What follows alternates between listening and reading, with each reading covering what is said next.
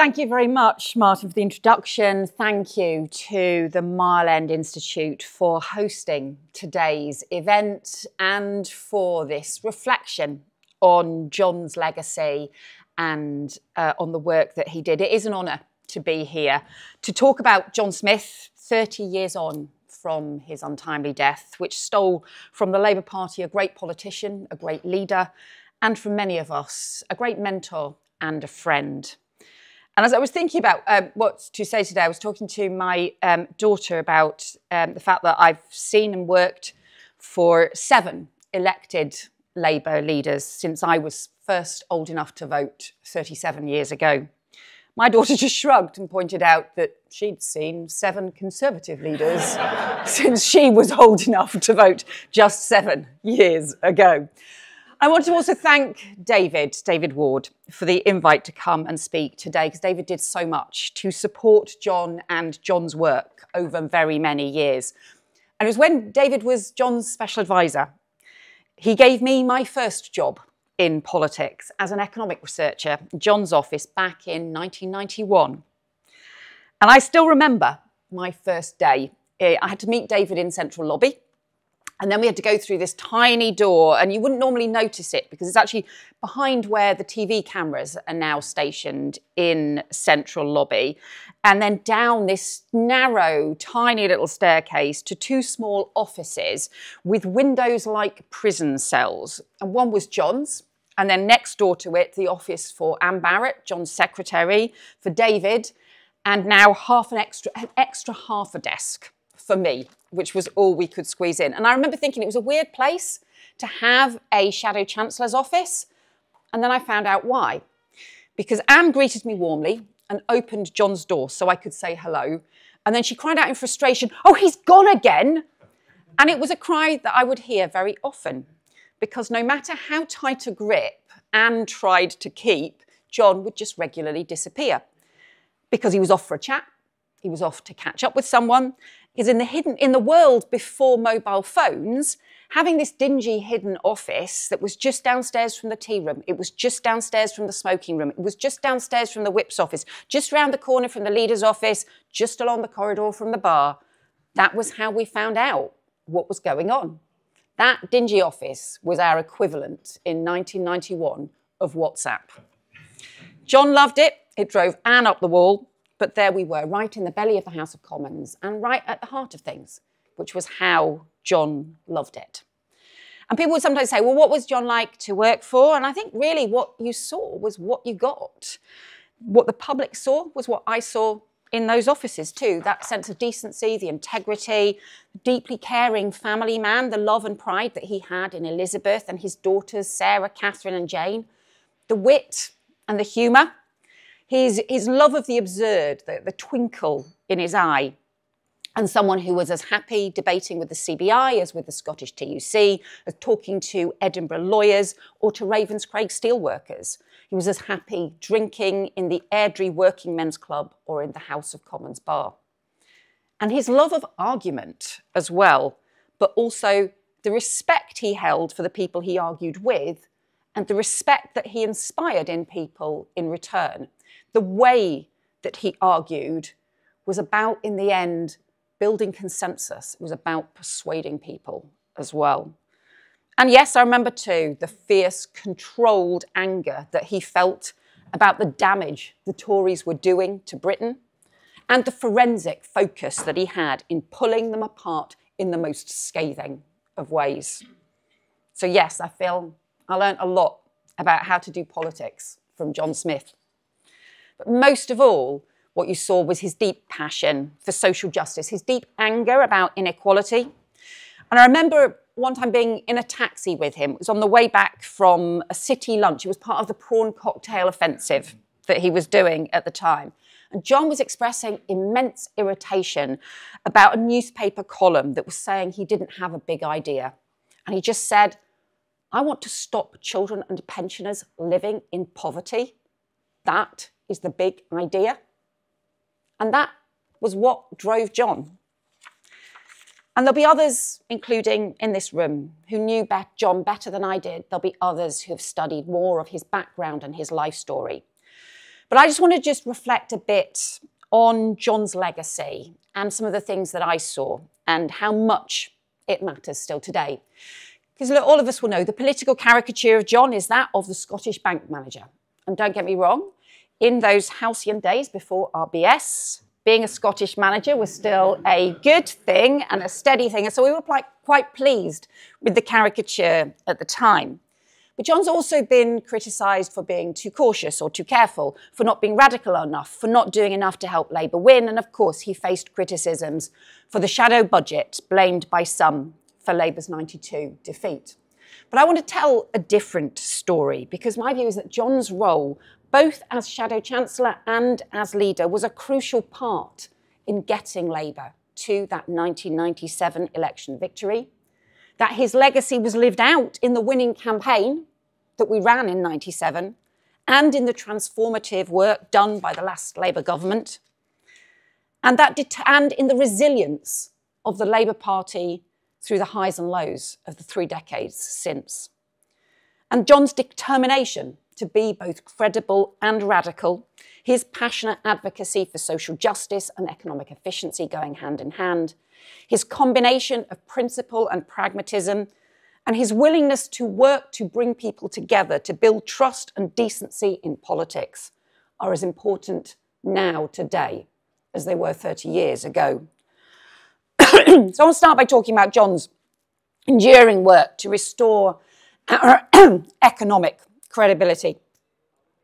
Neil Kinnock appointed John as Shadow Chancellor in 1987. It was just after our party's third defeat by Margaret Thatcher. We'd come a long way since 1985.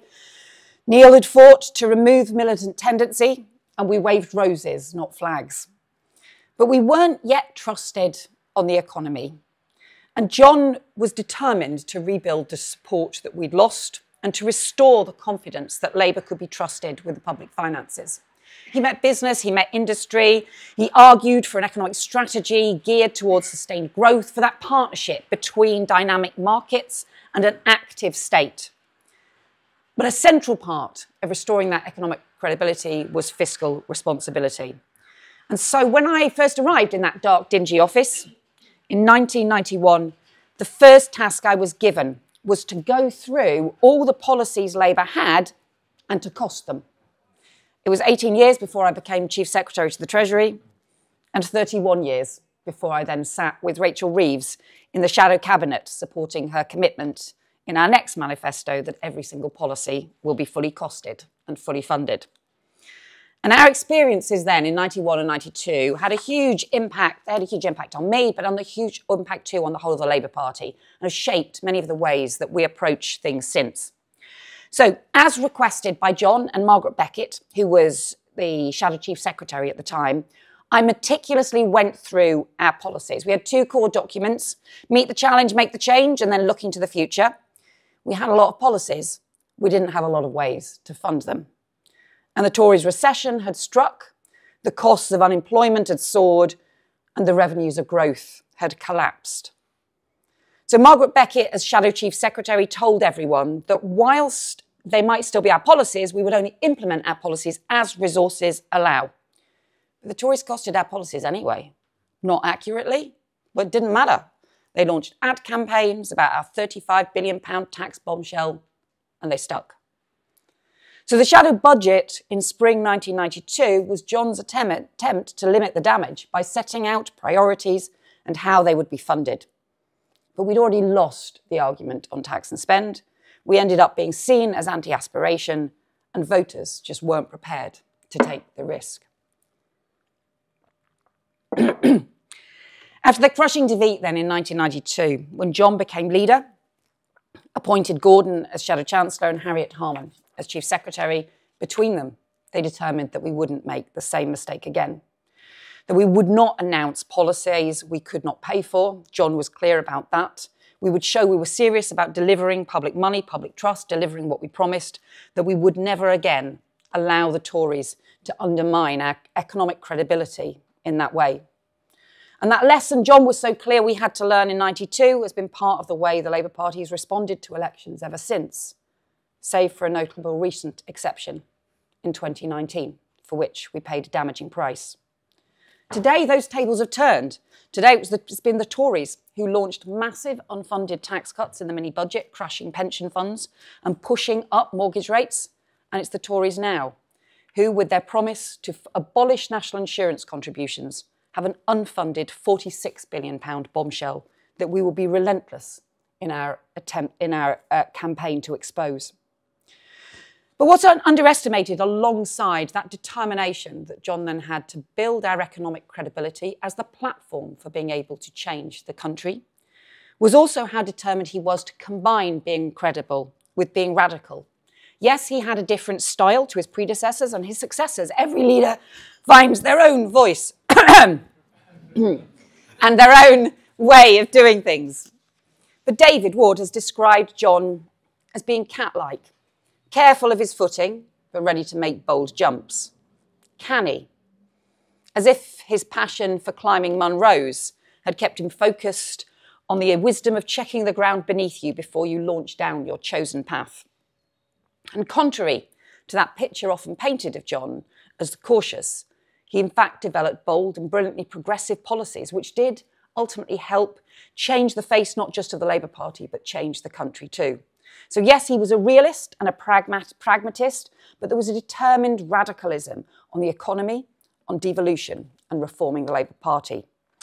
He always argued economic efficiency and social justice go hand in hand, and he fought hard, crucially, for the minimum wage. He was one of the hardest, uh, the strongest advocates of the national minimum wage in the face, at that time, of fierce opposition for some in the unions, and then later from those in business, and particularly, of course, from the Conservative Party.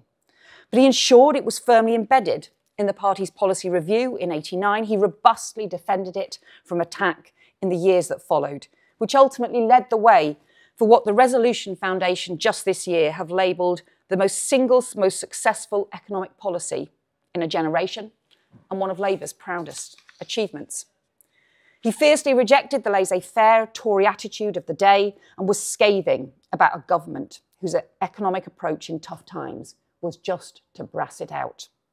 On devolution, he helped forge a new radical constitutional settlement and much of his thirst for reform was rooted in the battle for Scottish devolution in the 70s when he was given the job of steering the government's devolution bill through the House of Commons. But he led a debate which culminated in the huge swathe of devolution and the realisation of a Scottish Parliament three decades later.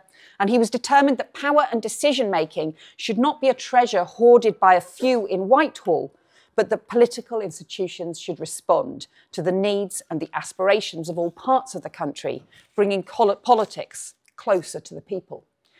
And then, thirdly, he was a party reformer. So even before the high profile debates we may remember about Clause 4, it was John who brought in one member, one vote as a mission to modernise Labour's way of making decisions and policies so we never again tumbled into an out of control policy programme as we did in 1983.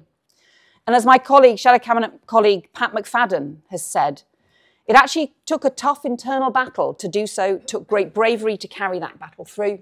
And he didn't stop there. He introduced the National Policy Forum in 1993, a dynamic policy making process the Labour Party still uses today. But now, too, we feel the echoes of John's experience again today. Certainly for me, that 1992 election was formative. Never again count any votes before they're cast. And we always know we have to earn support. But we see now, today, some echoes in the view that greeted John Smith on his first day as leader of the Labour Party in July 1992. What he faced then was a Labour Party being rebuilt after a foray into militancy, communities eviscerated by years of economic neglect, families worried about how to put food on the table or pay their mortgage, and public services, especially our NHS, feeling broken, and a deeply unpopular government mired in corruption and cronyism. And something that I personally can relate to those long and frustrating years in opposition. John faced those challenges with steely determination, with steady judgment, with decency, and with purpose. As Donald Dewar, his great friend and colleague, said, John sought power not for what it did for him, but for what it might allow him to do for others. And yeah, he hated being in opposition and bitterly regretted the lost opportunities of the 80s when there was so little he could do, the frustration of not being able to affect change for those he represented, for those he feared were struggling. So, yes, we do feel those echoes today, not just in the state of the country, the state of the government, the state of the Tory party, but in a re energised Labour Party coming back from de defeat. In a shadow chancellor in Rachel Reeves determined to build economic and fiscal credibility, and a leader in Keir Starmer who has the steely determination, the sense of decency, the steady judgment and purpose, not just to change the Labour Party, but to change the country at a time when our country is indeed crying out for change. And just as John would talk about the sense of purpose in politics, Keir Starmer talks about the missions for a Labour government, from clean energy by 2030 to smashing the class ceiling in education or restoring the dignity of work or halving violence against women and girls. But whilst Neil Kinnock, John Smith, Tony Blair, and Gordon Brown worked to take Labour from our worst defeat in generations in 1983 to election victory in 1997, Keir's ambition is much bolder to take Labour from our even worse general election defeat in even more generations in 2019, to offer the chance for the country of a Labour government again in just five years. But there's something else that feels harder now and feels different now, which is that fracturing of trust and the fragmentation of society feels so much greater than when I first started working for John. Whether that's through the damage done to our communities or the amplification on social media, but also, I believe, the reckless disregard for truth, trust, and standards, not just by Boris Johnson, but swathes of the Conservative Party and the deliberate politics of division that has undermined trust in a very deep way. But if anything, that makes John's style of politics, rooted in decency and respect, even more important. So let me just finish on two final thoughts about and from John. Because this has been a tough 14 years in opposition, an up and down time for the Labour Party. But actually, it's some of the words that John said to me that have kept me going through thick and thin. And they're words that I have repeated to many Labour Party events, fundraisers, particularly events for young activists, through times when things felt grim over the last 14 years. It was April the 10th, 1992, the day after the 92 general election. The election that I thought hoped we would win and that we lost and Anne Barrett, John's secretary, had organised a gathering to thank all the young researchers and staff who had worked for the party. It, of course, turned into a bit of a wake until John spoke. He gave me a hug. I think he gave everyone a hug, and he really was not a huggy person. And he said to us, You feel despair now, but I don't, because I look around this room. And as long as I see young people like you believing in the Labour Party, believing in Labour values and ideas and being ready to fight for them and know we have a future. And then let me leave you finally with John words, John's words from the night before he died in a speech 30 years ago. Words that sum up so much of who John was and what I believe the Labour Party stands for that sense of purpose, that sense that the holding of high office is a remarkable responsibility to those who you seek to represent and that how you govern, how you conduct politics matters, that what you can achieve for others and the change our country needs is what matters most of all. And what he said was the opportunity to serve our country. That is all we ask. That was John Smith. Thank you.